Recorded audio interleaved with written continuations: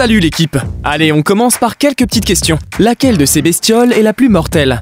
Ou lequel de ces deux-là vous avez le plus envie de câliner? Méfiez-vous car la nature induit parfois en erreur. Mais pas d'inquiétude, à la fin de cette vidéo, vous aurez la réponse à toutes vos questions. Prenez par exemple ces scarabées géants. Que se passe-t-il si vous mettez votre main près d'eux? Eh bien, il vous faudra compter deux doigts en moins. L'un de ces monstres s'est glissé dans la maison de l'auteur de ces clichés. Comment le repousser pour qu'il ne vous entraîne pas dans sa gueule avec ses terribles pattes À l'aide d'un simple morceau de carton. Bien que le scarabée harlequin n'ait pas une apparence sympathique, il n'est pas dangereux pour l'homme. De plus, les scientifiques ont trouvé dans son corps des peptides spéciaux qui peuvent traiter certaines maladies. C'est donc un vrai pote de l'humanité.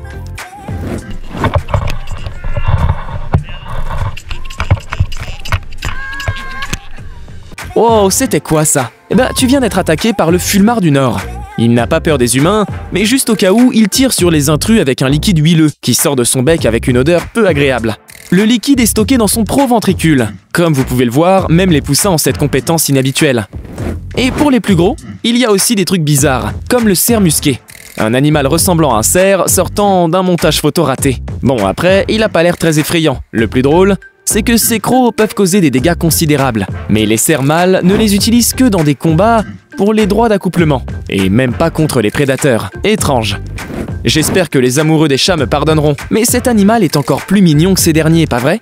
Mais l'avoir comme animal de compagnie est définitivement une mauvaise idée. En fait, il est préférable de ne pas prendre dans ses bras les représentants des lorissants. Vous n'avez pas vraiment envie de subir un choc anaphylactique, n'est-ce pas? Eh oui, cet animal à fourrure est le seul primate venimeux et l'un des rares mammifères venimeux. Le venin est sécrété par les glandes de leurs pattes avant. Laura étale le venin sur tout son corps et le tient dans sa bouche. Une morsure et ses yeux pourraient être la dernière chose que vous verrez. Il ne faut pas se fier au regard mignon. Ça, vous allez vite le comprendre dans cette vidéo. Le regard de cette grenouille n'est pas moins touchant et elle saute avec grâce. Mais si vous remarquez un tel projectile coloré venant dans votre direction, esquivez-le si vous tenez à votre vie. Bien que les grenouilles venimeuses ne pèsent que quelques grammes, elles émettent un venin extrêmement puissant. Une dose microscopique est suffisante pour tuer 20 personnes. Il n'y a pas d'antidote et seules les grandes araignées et certains types de serpents sont immunisés contre ce venin. Si vous n'êtes pas l'un d'entre eux, restez à l'écart de ces petites créatures. En Antarctique, on sous-estime souvent le danger que représente un animal, et ça a malheureusement conduit à une tragédie. Bien qu'il peut parfois avoir l'air mignon à première vue, il a quand même réussi à tuer un jeune scientifique. Ce mignon animal est le coupable. Il a juste traîné la fille sous l'eau et l'a noyée. Vous êtes surpris Tous les phoques ne sont pas que des drôles de gros maladroits. Attaquer une personne est un jeu d'enfant pour un léopard des mers. Parfois, il chasse même les membres de sa propre famille, sans parler des manchots. Le léopard des mers est particulièrement cruel avec les proies de cette taille. Il tient la proie entre ses dents et la frappe contre l'eau, comme s'il cuisinait un steak haché. Mais qu'en est-il de ces animaux que la nature n'a pas doté d'une apparence impressionnante?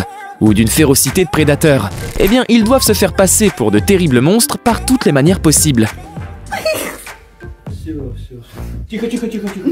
Par exemple, au moment du danger, le pandarou se souvient qu'il est un parent des ours, et dans sa tête, il s'imagine sûrement qu'on a cette image de lui. D'ailleurs, ils font partie du même sous-groupe que les moufettes. C'est probablement pour cela qu'ils montrent une façon similaire d'intimider ses ennemis. C'est impossible de ne pas rire, même en sachant que l'on peut prendre quelques jets puants. Imaginez-vous être seul dans la jungle dense de Madagascar au milieu de la nuit. Tu sens que le danger t'attend de chaque côté, et soudain ce monstre saute d'une couronne d'arbres vers toi.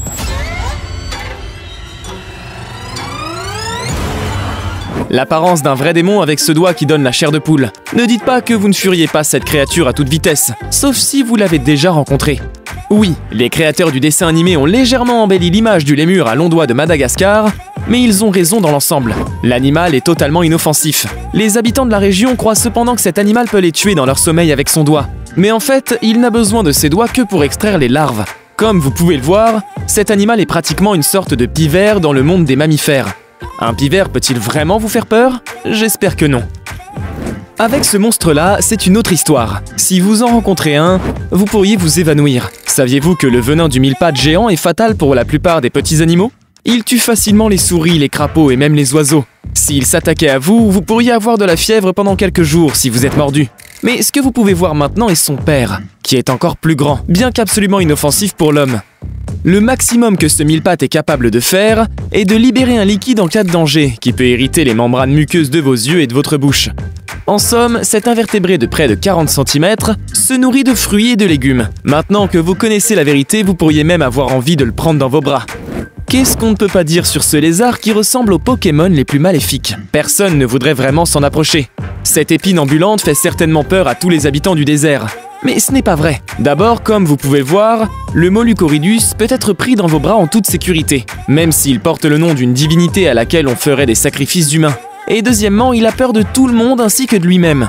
Ses excroissances sur le corps sont censées empêcher les oiseaux de proie et les varans de la vallée. Et le lézard lui-même se nourrit exclusivement de fourmis. Dans l'ensemble, il est assez mignon malgré son apparence. Et voilà encore un végétarien. Est-ce que cette bête ressemble à quelqu'un qui refuse de manger de la viande? En fait, la chauve-souris au visage ridé nous regarde comme ça parce qu'elle est offensée. Ces chauves-souris ne font de mal à personne, sauf aux fruits. Leur régime alimentaire se compose principalement de bananes, de mangues et de papayes trop mûres. Mais elles ont quand même l'air repoussant, c'est le moins qu'on puisse dire. Contrairement à d'autres, celui-là est plutôt mignon. Regardez cette bestiole. Il est assis paisiblement dans les mains de ce type, comme un chat de compagnie. Cependant, à tout moment, ce compagnon à fourrure peut se transformer en un dangereux monstre, capable de ronger des os comme des biscuits, presque comme dans un dessin animé. Oui, il s'agit du diable de Tasmanie, un prédateur vorace qui possède la plus grande force de morsure par rapport au poids corporel parmi les mammifères. Il n'a besoin de fermer ses mâchoires qu'une seule fois pour mordre la colonne vertébrale, ou le crâne de sa proie. Vous pensez vraiment que ça vaut la peine d'essayer d'en faire un ami Bah moi franchement, je tenterai pas le diable. Cette bête-là, elle est suréquipée. L'évolution l'a dotée d'une défense massive de 3 mètres, mais qui est pratiquement inutile comme arme. Les chercheurs n'ont observé qu'une seule fois ce mammifère l'utiliser pour assommer ses proies. Le reste du temps, la corne, qui peut être pliée dans toutes les directions, fonctionnant comme une sorte d'antenne. Les scientifiques pensent que les terminaisons nerveuses qu'elle contient permettent au narval de ressentir les changements de pression et de température d'eau. Faut pas l'approcher aussi celui-là, même s'il a l'air sympathique à première vue. N'oubliez pas que si cet animal a adopté une telle posture, il n'a pas envie de vous faire un câlin amical. La posture du tamandua a l'air drôle, mais le fourmilier géant dans cette position est à éviter. Certes, il a une mauvaise vue et n'a pas de dents, mais il a quatre énormes griffes sur ses pattes avant, avec lesquelles il peut frapper des léopards jusqu'à la mort. S'il peut vaincre des prédateurs comme léopards, imaginez ce qu'il fera de vous. Je vous ai parfois dit de rester à l'écart des créatures de cette vidéo, mais comment ne pas s'approcher d'une des plus drôles d'entre elles? Je suis sûr que si vous le voyez par hasard, vous décideriez immédiatement de le caresser. Malheureusement, j'ai une mauvaise nouvelle, qui vous fera oublier cette idée. Du moins, je l'espère. Il s'avère que l'ornithorynque nous cachait une autre bizarrerie. Les mâles de ces mammifères possèdent un éperon fortement incurvé d'environ 1 cm de long, sur les talons de leur patte arrière. Si vous dérangez l'ornithorynque pendant la saison des amours, les médecins devront vous retirer un éperon de votre corps. De plus, pendant tout ce temps, vous aurez une douleur incroyable et les analgésiques ne vous aideront pas à la soulager. Il est donc préférable d'admirer cet animal de loin.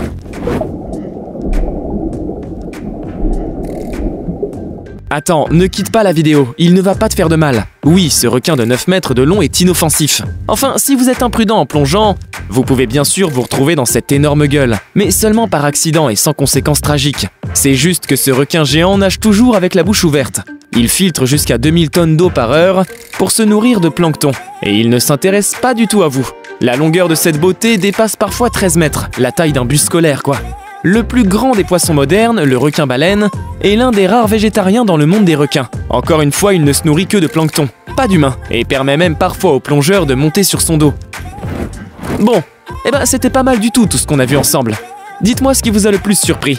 Bon, moi clairement, le cerf avec les dents de vampire, c'est mon préféré j'ai eu du mal à croire qu'il existait vraiment. Enfin bref, dites-moi tout ça dans les commentaires.